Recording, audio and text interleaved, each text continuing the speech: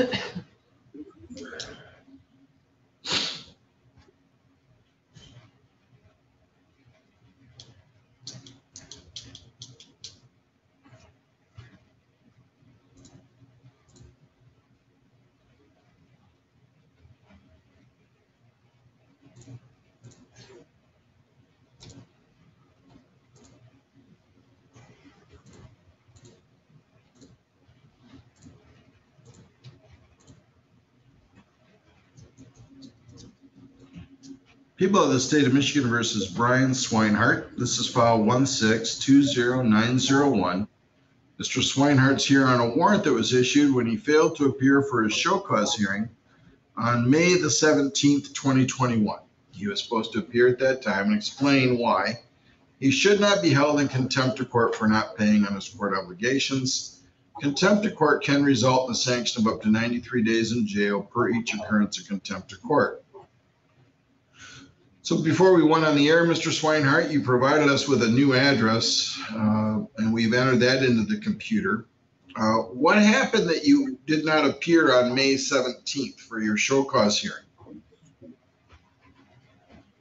I didn't know it. I haven't been paying attention to it. I've been.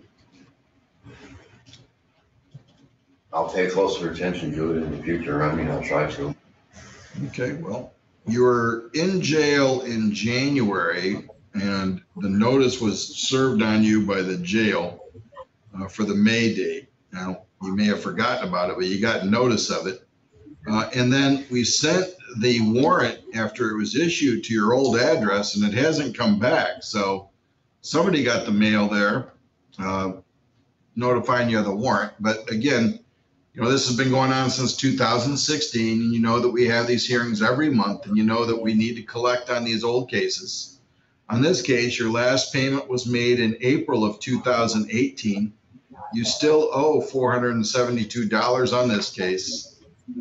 And then in the 2008 case, you owe $1,121. In the 2013 case, you owe 196.12.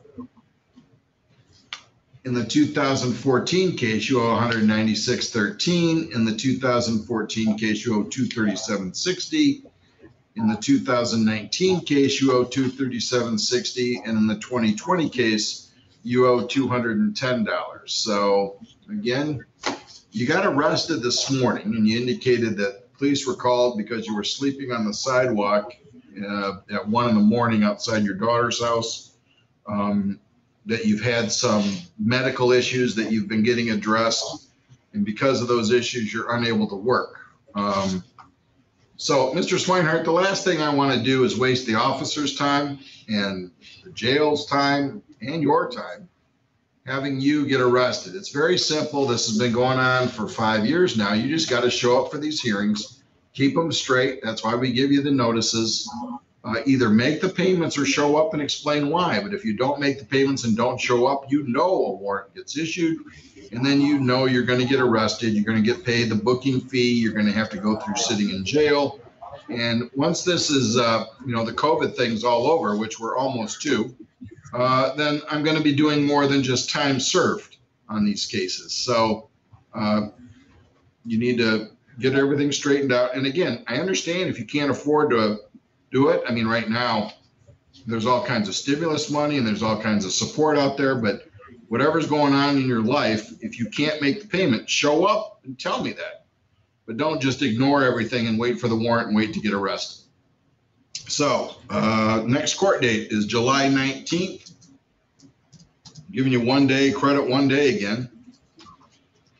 And make sure you either make a payment or be in court on July 19th and explain what's going on. And also, it's helpful if you provide us an address. You don't need to, uh, and we don't need to send you the warrant, but at least you wouldn't wait to get arrested. You could take care of it before that.